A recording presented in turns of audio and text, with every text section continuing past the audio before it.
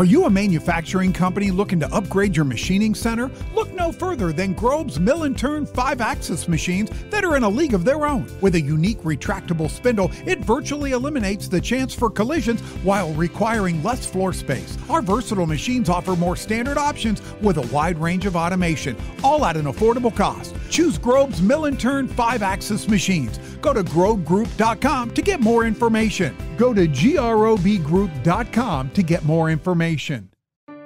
Did you miss your deadline to renew your Medicaid coverage? You can still send your completed annual review form to Healthy Connections Medicaid. You may be assigned to another health plan, but you can ask to come back to First Choice within 60 days of renewed Medicaid eligibility. It's your family. It's your choice. First Choice is the right choice. Renew and choose us. Visit selecthealthofsc.com slash renew to learn more.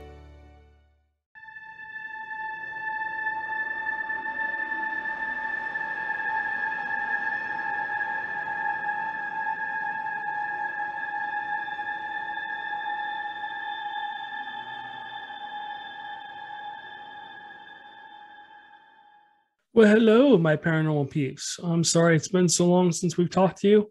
I think we're about to move into uh, season three of our podcast. And uh, on this podcast, well, let me start with this. My name is Matt Harvey. I am the founder and lead investigator with Deepwoods Paranormal. I've been researching the paranormal professionally for about 30 years, uh, along with my wife, Amanda. Uh, we investigate ghosts, hauntings, demons, Bigfoot, UFOs, anything paranormal in nature, we, re- we research it.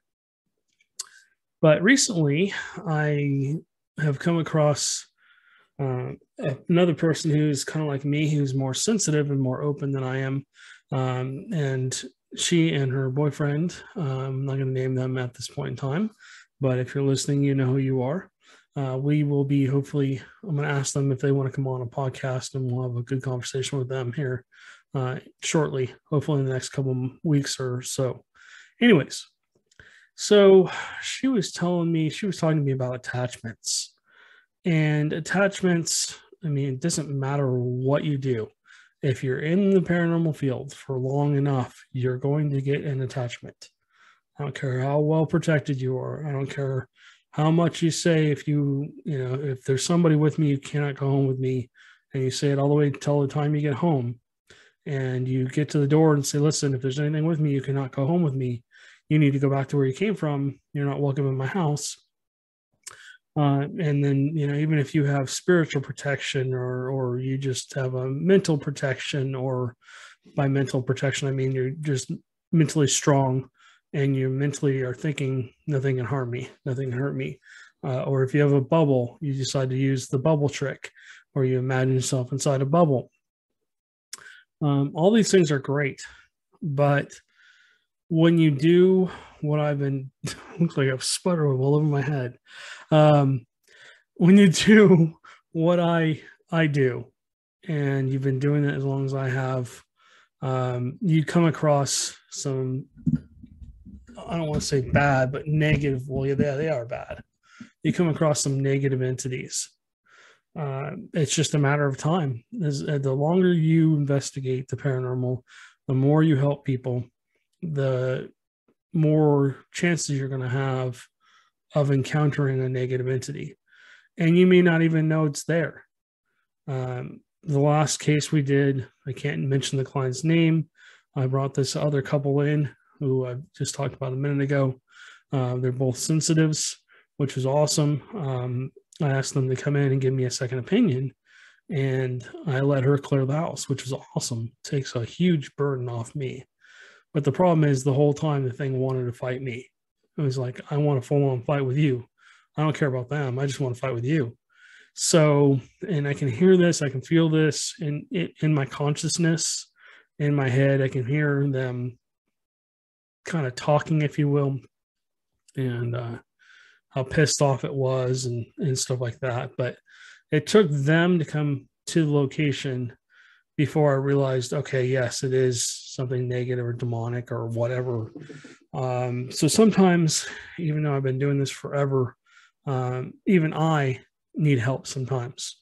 And one of the things that she said is you need to kind of close yourself off. I've been under a lot of attack lately.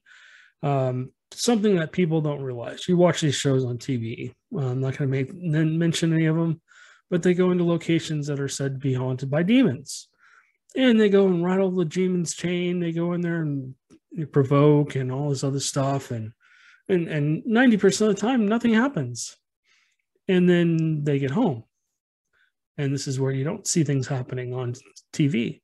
They get attacked. They get scratched there's been a couple of people that have come back out after a show and said, "Hey, look, this is what happened to me."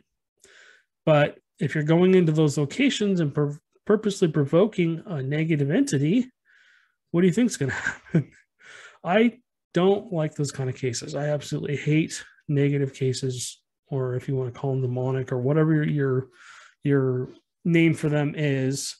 Uh, you know, if you don't believe, and maybe it's just some kind of a apparition that people don't know about or whatever. I don't know, whatever your beliefs are.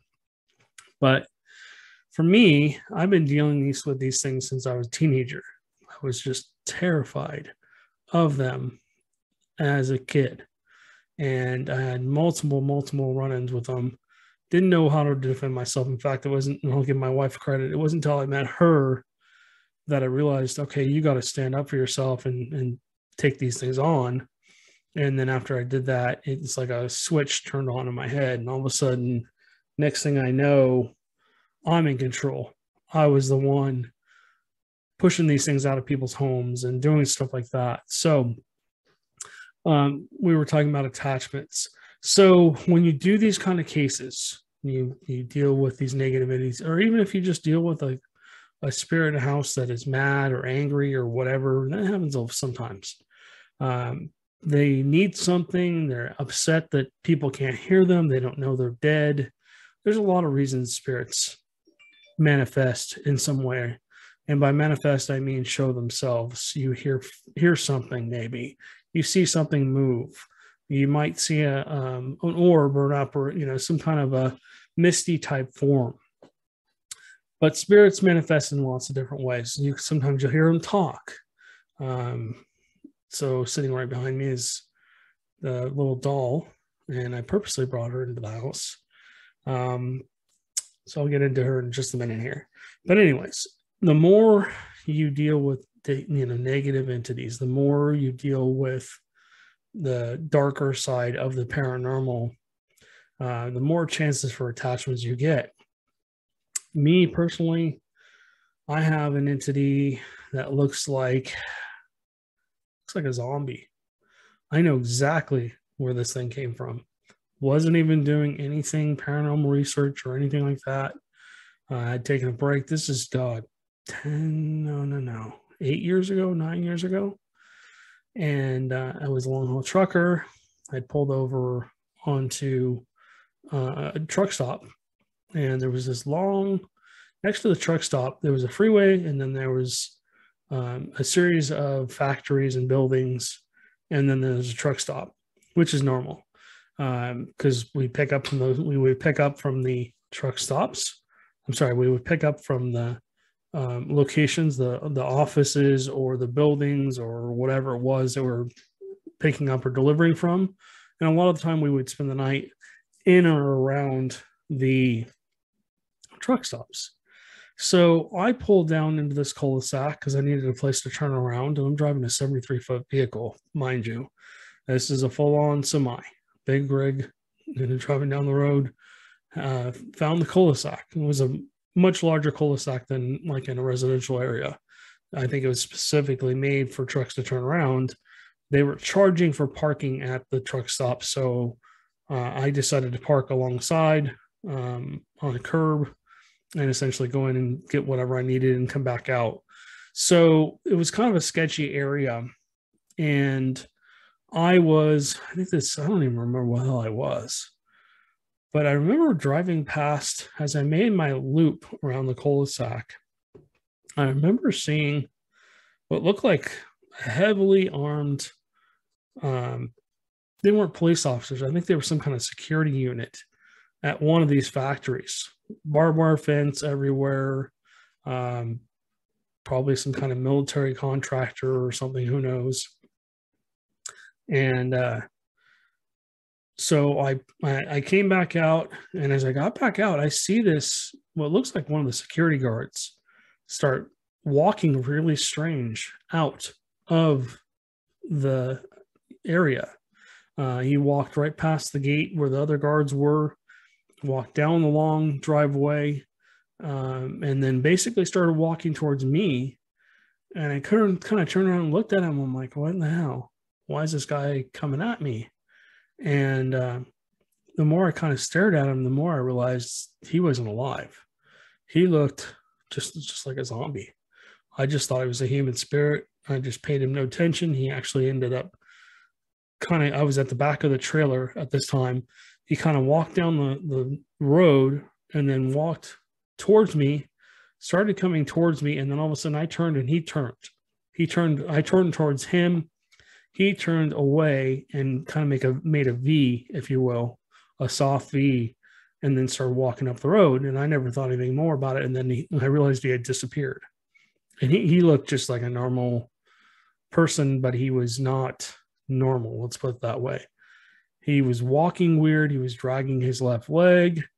Um, he had his arms kind of out a little bit, uh, shoulders hunched forward, and his face was weird looking, but he looked just like a security guard. I think he had a security guard outfit on. So I was like, okay, that's strange. I'm not sure. And uh, that's where I'm going to leave it with the government stuff.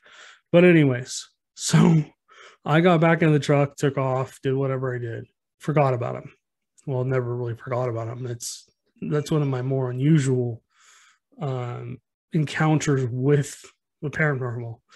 But I told that story years later. But what was weird is recently when I went to have a reading with um, our new friends, she said, you know, we've come across this entity um, that looks like it's a zombie.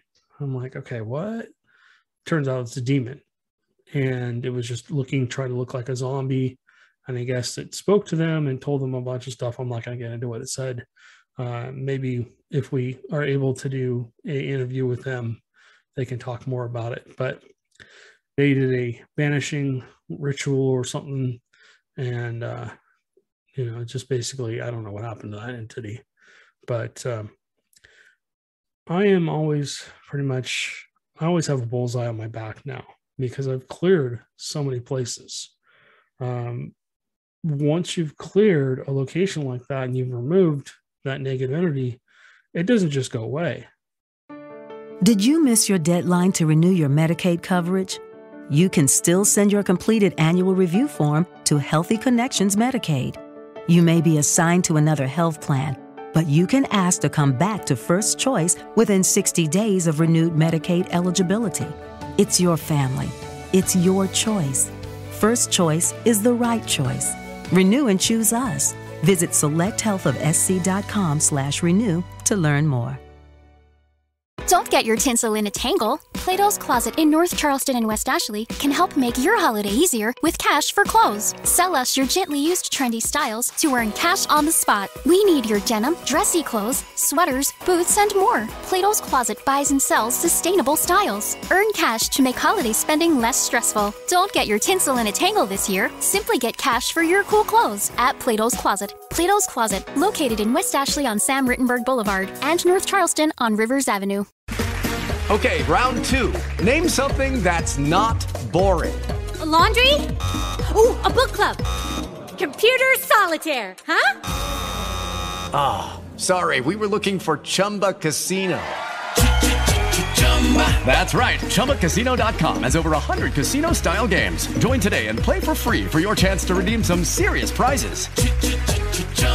ChumbaCasino.com. No purchase necessary. Full prohibited by law. 18 plus terms and conditions apply. See website for details. It sits and waits. And maybe 100 cases down the road, maybe 20 cases down the road, maybe two cases down the road. Guess what you run into? That same entity. But he's learned something it's learned something. I'm not going to say he. It has learned from the previous experience and it knows what you're going to try and do. It knows how you're going to try and remove it. So you have to come up with a new way to try and get the help the thing out of the house and or location you know not necessarily homes. Sometimes it's businesses sometimes it's vehicles sometimes it's who knows what it is. Anyways so yeah i mean these attachments these demonic attachments or negative attachments or whatever you want to call them um whoa sorry it's just a little windy outside anyways um so these demonic attachments they just follow you. They consistently follow you. They never really go away. And then from time to time, they'll attack you. Uh, when we first moved here to call, Bryan College Station, we rented a home and we liked it. Nice little old home, probably from the maybe the 20s or 30s. Somebody I could tell when we first started moving in, somebody had done something bad in one or both of the back rooms. I don't know exactly what happened in the house. I, I tried to find some information. There was just nothing, no records, of course. Um, so when I went through and I started recording all of this, I started documenting it by leaving uh, the home security cameras out, the DVR system out, like we would do to clients. We started picking up all kinds of crazy stuff, like a man screaming for help and all this other weird noise my friend spent the night to watch the dogs for us when we went somewhere. Man and I went somewhere, and she said she saw something crawling on the ceiling. And so when we left that house, I purposely said, if there's anything with me, you cannot come with us. You need to stay at this house. And what was interesting is the person we rented from said, Wow, you guys have lived here longer than anybody else. Everybody else has just packed up and left and, you know, a month in, two months in, three months in, whatever. We were there a year while we were waiting for this house to be built. But yeah, just just crazy stuff. I mean, that thing, there was something there. Even though I said you can't go with us, it must have attached itself to something that we brought with us. Originally, it started out in the garage and it would move things around in the garage. And now it's progressed to where it's somehow made its way in the house. Even though I have, I have the house well protected, there are stones everywhere, there are crosses everywhere. I've not blessed this house, and there's a reason I don't bless this house. Uh, we like not having a whole lot of activity in the house. If once you do a blessing in a house, it becomes, let's just say, very positive, or if you're religious, uh, becomes like a church and what people don't realize is that churches draw energy, entities, energy, whatever you want to call them, to them because they're a safe place where negative energy can't get to. And so once you do a blessing in a home, spirits will flee into that home and essentially then they'll they're the, hopefully they're going to be quiet. Most of the time you don't even know they're there, but every once in a while you get a case where it's like, oh crap, this house was blessed six years ago. I know exactly why you're having all that activity.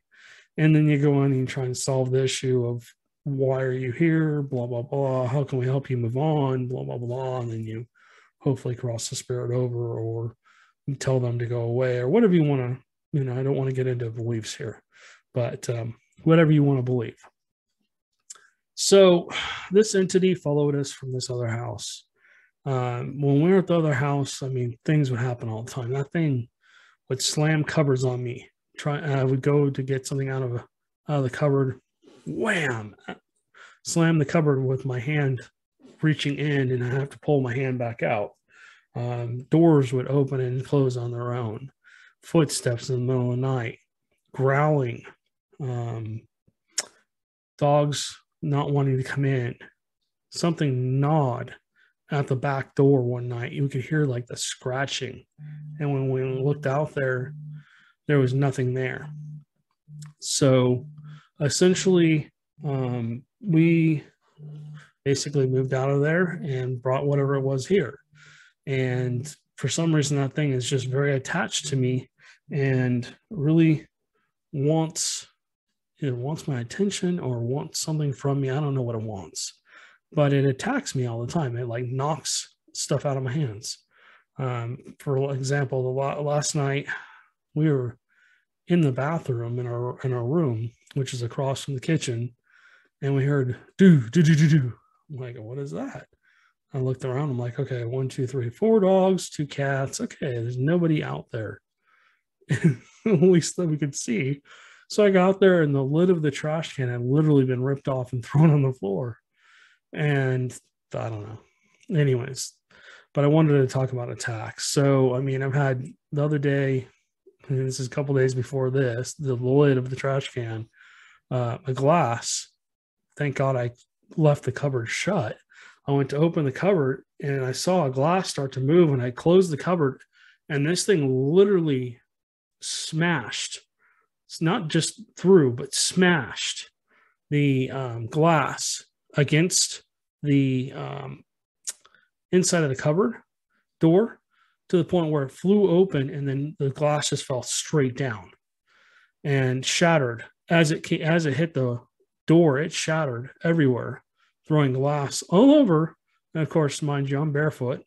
So and then the dogs are running around next to me. And so i had issue i had to sh- shoo them away and then i had to carefully maneuver my way out of there to go get some shoes on and clean up the mess.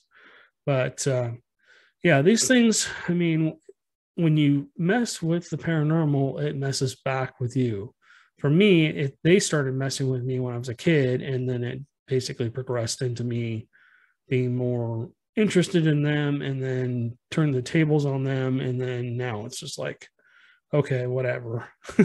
just to the point where I just shake my head and go, okay, all right, so, um, even if you have good spiritual protection, just be very careful when you go into these locations. If you go into a location you just don't feel comfortable there, then leave. But um, don't ever, well, I can't tell you say that. I would highly recommend that if you go into a location, especially if you know that it has had some negative past history or you know that it possibly has a negative entity or demon hiding out, I would highly recommend that you either bless yourself or do some kind of mental protection or whatever you want to do. Protect yourself from these things. And then highly recommend that you clear yourself when you leave. Don't provoke. I'm sorry.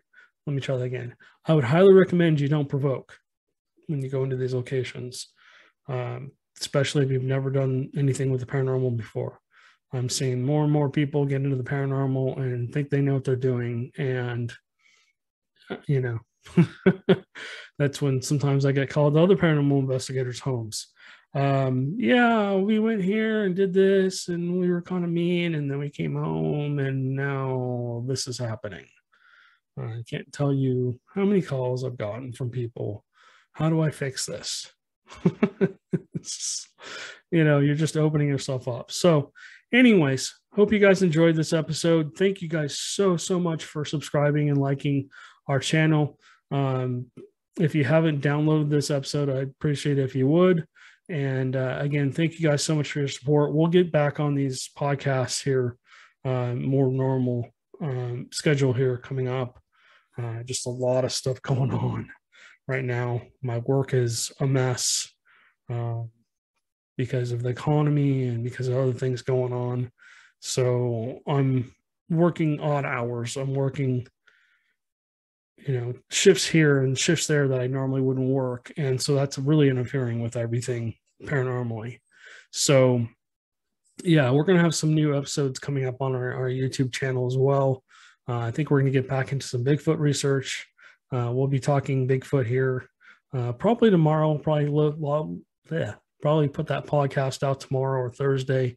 And then um, I'll be doing, I'm not sure if it's going to be, again, i have talked about this before, but I'm not sure if it's going to be um, a survival podcast or or if it's going to be a paranormal survivor podcast or whatever i'm going to be doing some kind of other podcast i'm not sure if i'm going to put it on these with these podcasts or put it by itself um, here in the next week or two. I want to get that out. I want to start doing that, and we'll start doing some episodes with that Uh, so if you're into survival or being out in the woods or camping or hiking or anything like that, I'll be covering a lot of subjects. Uh, there's a lot of stuff going on right now. Uh, maybe to talk about a little bit of prepping. Amanda and I are not preppers, but there's a lot of people that are prepping for whatever they think is coming at this point in time. Um, so yeah, you guys, uh, you guys stay safe out there. It's kind of a crazy world right now, and uh, we'll catch you on the next one.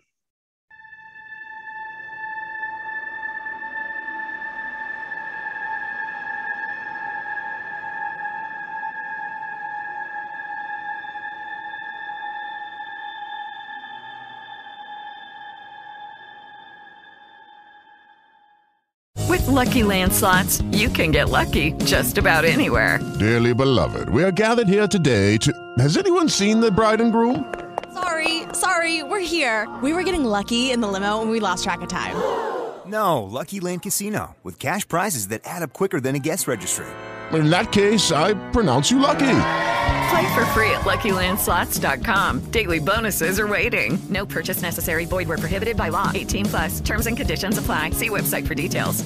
Hey guys, it is Ryan. I'm not sure if you know this about me, but I'm a bit of a fun fanatic when I can. I like to work, but I like fun too. It's a thing. And now the truth is out there. I can tell you about my favorite place to have fun. Chumba Casino. They have hundreds of social casino style games to choose from with new games released each week. You can play for free anytime, anywhere and each day brings a new chance to collect daily bonuses. So join me in the fun. Sign up now at ChumbaCasino.com. No purchase necessary. VGW. Void were prohibited by law. See terms and conditions. 18 plus.